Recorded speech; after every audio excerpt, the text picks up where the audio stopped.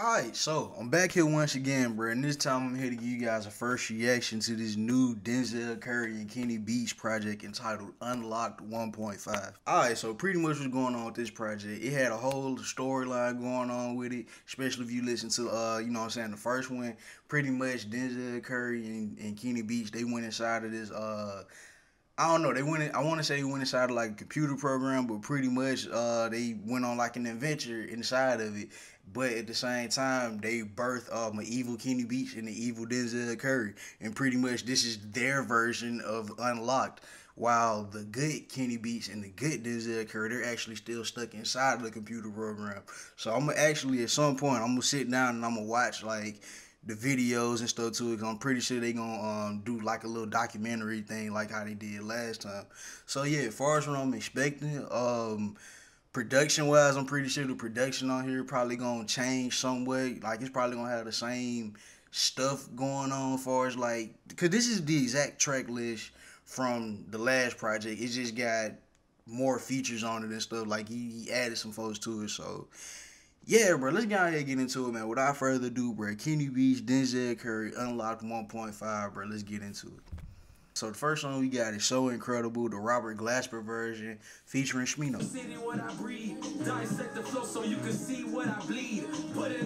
I like this production. Crack Atlantis on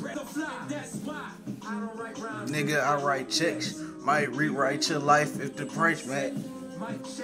Two one two. In the morning, like damn boy, you ain't up yet. Mm. No fatigue, no crease. She got her John at the crib. We get it lifted like elevators in Brixton. Let me paint a Hey. Stumble right into that coochie that I had left on the charger. Mm. Right over to my DM and every message said car was bad the green. I bought you a couple packers. Told you that you the reason. I still got hope in these rappers. Nigga, I write checks. Might rewrite your life if the price set.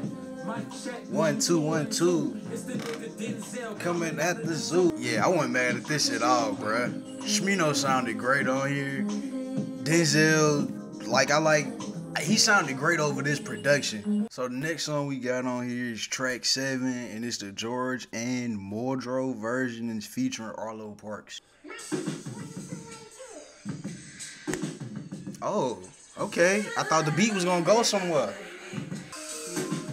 I don't know what this production doing, but I'm liking it though. Let's get it on the Barbie like a motherfucking cookout.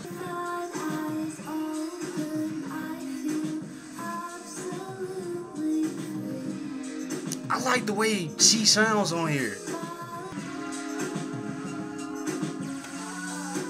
It's so much going on with this damn production.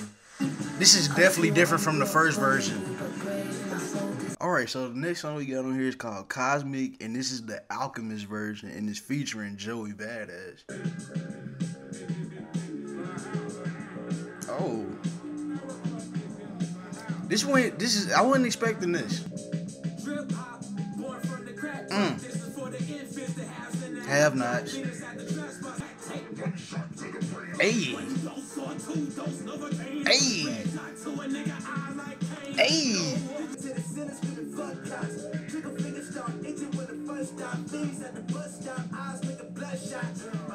Come on, Joey.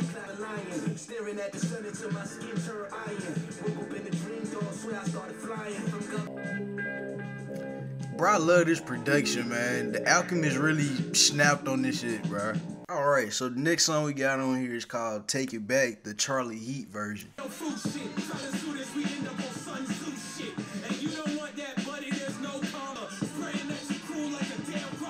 Bro, Denzel can rap over anything. Bubba Sparxxx. And Rosa Parks. Hey. Bro, I like what this production turned into, bro. The Charlie Heat version is fine.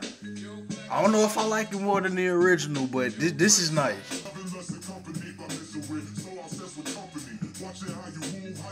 So next song we got on here is called Pyro, and it's the Sango Leak version, and it's featuring Kenny Mason.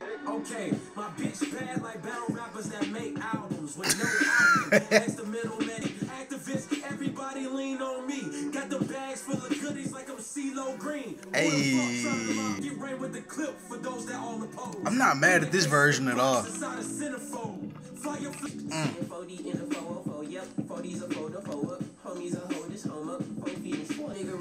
Pressure cause I will rest with it, especially when it's 38 special suggestions, makes you slip. Hey. Alright, Kenny. Yeah, Kenny sounded good on here. I ain't mad at this version. So the next song we got on here is called Layup, and this is the Jay Versace version. Shower, grow the fro for black power. Denzel in my final hour, I would never cower. Mm. Too smooth like Lando, turn a bite to a Lambo. Ribbon chickens like it's next shit. Use a plain bitch, body shame game, aim is intense. Surfboard body ass boy with your fish tits. On one hand, I'm a fair. Yeah, Jay Versace low key got off on this production. Like it low key sound like some junk. Um what's my boy name? Boldy James to rap over. But yeah, I like the Jay Versace version of this song. So next song we got on here is called Diet 1.5. Diet was one of my favorite songs off the original. And this version right here features Benny the Butcher. So Let's go. All these racks in the ceiling got rappers back in their feelings. Mm. Treat the game like Trump voters did the Capitol building. In the 600 Maybach, the only passage, you're way too tactical, nigga. All my albums is classical just to challenge you, niggas. Hey. My shit, I feel like a superhero. Mm. Every year they discuss me. Who else they gonna name but me? And Gunweed, the ones who they call when they get rusty. Mm. Peace and quiet. Please go to church. And please get on a diet. Hey. So the last and final song we got on here is called Take It Back the God Mode 950 version.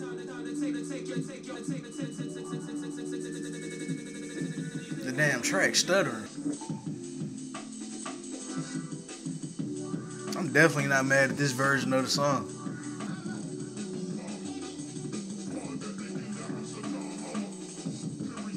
Alright, so I'm feeling unlocked 1.5.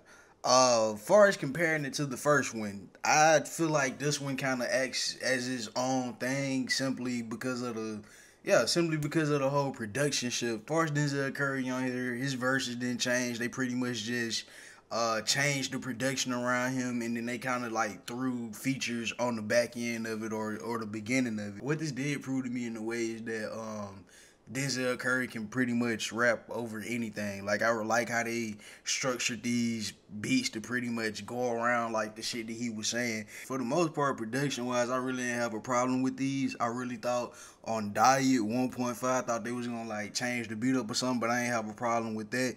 Benny the Butcher sounded great on it. Um, yeah, shit, as far as the features and stuff on here, bro, the features did they thing for the most part. Bro, Smino killed this junk. Like, I can't wait till he um finally drop something at some point. Arlo Parks sounded good on track seven, but then at some parts her voice do kind of uh, throw me as far as like the way it sounds on this particular like production. Like I feel like I don't know, she'll sound good on like some other stuff or whatever, but on this here production right here, like it's kind of a hit and miss type of thing. But the song as a whole, I do like it.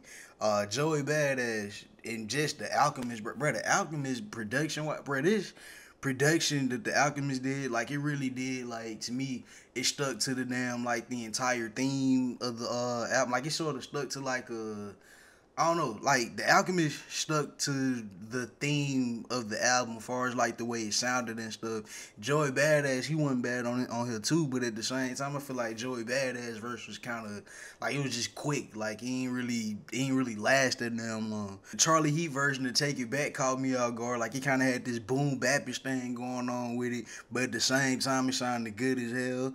The Sango Leak version of Pyro was nice. Kenny Mason was dope on that. Uh, Jay Versace, Jay Versace caught me out guard with his rendition of Layup. Like I said, bro, that, like that production style, like it kind of remind me of something that he would have did for uh like yeah, it reminded me of something that he would have did for like a Boldy James or something. I still haven't heard another project from Jay Versace, but from the most part, like all the production stuff that I didn't heard from Jay Versace has been the shit, and I like it. So yeah, overall, I'm feeling this version of Unlocked. Far as this version right here, I'm loving it for the most part. Don't have a problem with it, and I like what they did with these songs. As far as I'm expecting from Denzel Curry, I'm pretty sure that he's gonna drop some type of project. Um, I wouldn't be surprised if he dropped something else with Kenny Beats again. Honestly, as far as with Kenny Beats, I haven't checked. I don't think he's giving us like a new season of the Cave yet, but pretty sure that that's coming pretty soon. It's gonna be nice to have that back. But uh, yeah hopefully we get something new, newer in the future or whatever, new music. I like the way Denzel Curry sounded with JID. Um, so yeah. Let me know how y'all feeling about this project in the comment section. Let me know if I was wrong about anything. Please feel free to correct me. Also, please like, subscribe, and comment, especially if you feeling the content or whatever, bro. It'll be much appreciated. And yeah, man, this is T Shine out once again, man. Thank y'all for watching this video. Peace.